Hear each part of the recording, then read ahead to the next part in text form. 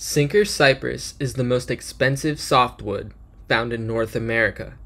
The key differences between regular cypress and sinker cypress include color, stability, and rot resistance. It can only be found at the bottom of rivers, thus the name sinker cypress. Most logs are 80 to 130 years old, but it's common to find old growth trees that are over a thousand years old. During its time underwater, the cypress logs absorb tannins and minerals from the riverbed, so the color varies depending on where it's found. We are making a 100 foot bar top out of this stack for the second time. It's very easy to work with and cuts like butter. However, sanding is a pain because the sawdust is very sticky. It's also super stable.